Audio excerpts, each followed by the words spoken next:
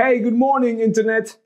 Alors, il s'est passé de, de, de, de, drôles de choses hier. Euh, Moussa Marega, qui est un joueur de foot qui joue au Portugal, a dû quitter le terrain parce que euh, les euh, injures et l'énergie raciste euh, à son encontre s'étaient trop intensifiées. Et en plus, il avait eu un carton jaune de l'arbitre et tout ça parce que, voilà, en gros, euh, il a marqué malgré les cris racistes, malgré les injures et tout ça.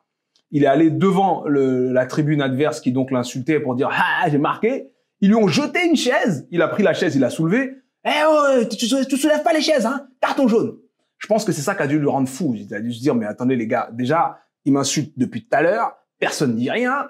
Je marque, je vais célébrer un peu. Il me jette une chaise, je soulève la chaise, on met un carton. Vous savez quoi? Je me casse.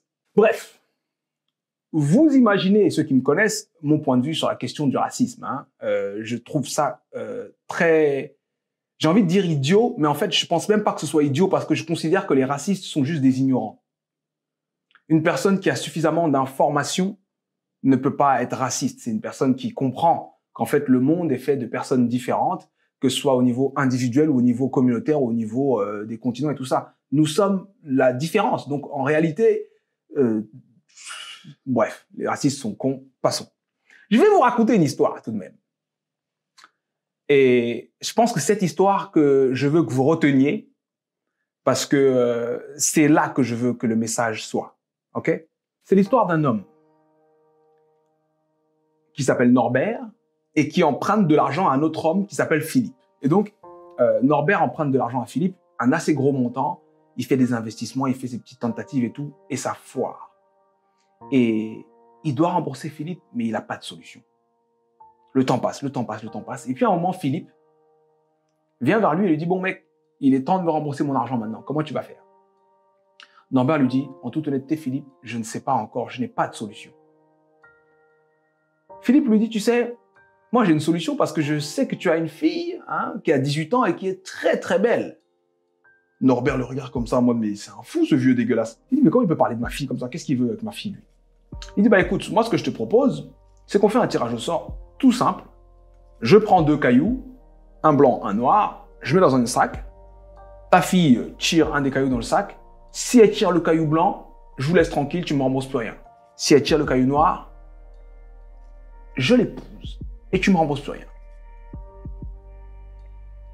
Norbert, il est euh, sous le choc, il sait pas quoi penser, il trouve que le mec est dégueulasse, tout ça, il dit mais ma fille elle a 18 ans, je pas c'est quoi ça on vend pas les enfants comme ça, c'est quoi ça et tout. Je vais parler avec ma fille parce que là ce que tu me proposes, je sais pas trop, je vais parler avec ma fille. Il se retourne, il va voir sa fille et euh, il parle à sa fille, il lui explique le problème et elle dit mon père, tu sais, tu t'es sacrifié euh, toute ma vie pour que je sois qui je suis, euh, pourquoi moi je me sacrifierais pas pour toi et tout. Elle, elle, a peur. En réalité, elle compte sur la chance parce qu'il lui a expliqué qu'il y a une chance sur deux, donc elle se dit bon vas-y si en vrai euh, ma vie est prévue euh, autrement, bah je tirerai la bonne pierre et je n'épouserai pas ce mec. Et si elle est prévue comme ça, bah malheureusement c'est ce qui m'arrivera. Donc elle dit papa, j'ai confiance, ça va bien se passer, ok, dis-lui que c'est bon. Alors son père retourne voir Philippe et elle, elle n'était pas trop loin, du coup elle regarde Philippe, tu vois. Son père dit à Philippe ouais c'est bon, on va le faire et tout. Et elle, elle, elle quitte pas Philippe des yeux. Et comme elle quitte pas Philippe des yeux, elle se rend compte que Philippe, quand il se baisse pour prendre les cailloux, il prend pas un caillou blanc et un caillou noir. Il prend deux cailloux noirs et il met dans le sac. À ce stade-là, elle se dit Waouh, j'ai déjà accepté. J'ai vu que le mec c'est un tricheur. Je sais pas comment gérer. Si je dis que c'est un tricheur, il va peut-être jamais montrer. Après, ça va tout faire foirer. Peut-être que mon père sera quand même forcé à rembourser. Comment est-ce que je peux faire? Parce que tu vois, elle est en plein dans l'injustice. Elle est en plein dans quelque chose qui, lui est imposé alors qu'elle n'a rien demandé pour ça. Et en se rapprochant de Philippe pour aller tirer le, caillou, elle continue à réfléchir, à réfléchir, elle cherche une solution, elle n'en trouve pas. Alors, elle plonge sa main dans le sac, elle sait qu'il y a deux cailloux noirs, elle sait que si elle en sort un noir, c'est mort. Elle plonge sa main dans le sac, elle ressort sa main du sac et elle fait tomber le caillou. Oh Et comme il y a plein de cailloux, on ne sait pas où est le caillou. Philippe dit, mais oh là là, elle a fait tomber le caillou, comment on va faire et tout, il faut recommencer. Elle dit, mais non, monsieur Philippe, il y avait deux cailloux. un blanc, un noir.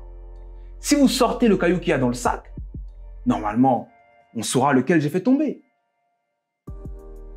Philippe est là, il sait pas non plus comment réagir parce que il est exposé maintenant. Alors il sort le caillou, on voit le caillou noir.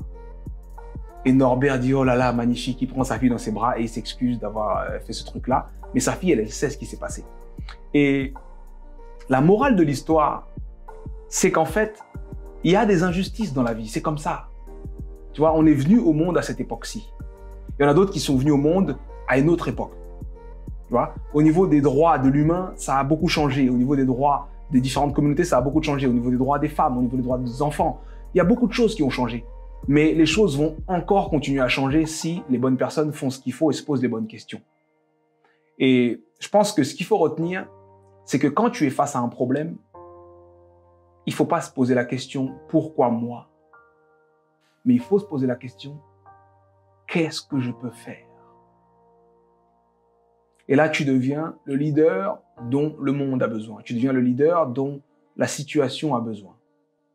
Parce qu'en fait, dans les situations où il n'y a pas de leader, celui qui s'en rend compte le premier doit devenir le leader. Et je pense que tout le monde ne doit pas se poser la question euh, pourquoi si, pourquoi moi ou pourquoi nous, mais plutôt qu'est-ce qu'on peut faire, qu'est-ce qu'on doit faire? C'est tout. Peu importe ta situation, peu importe ta communauté. Hein. S'il y a cette situation d'injustice qui se présente à toi, pose-toi la question qu'est-ce que je peux faire? Il y a toujours un angle sous lequel tu peux gagner, même si la situation semble complètement perdue, même si elle semble complètement injuste. Voilà ce que j'ai à vous dire. Euh, et voilà ma réaction à ce qui s'est passé euh, avec Moussa Mariga. Et puis euh, les équipiers, hein, les équipiers, les chefs de club et tout ça.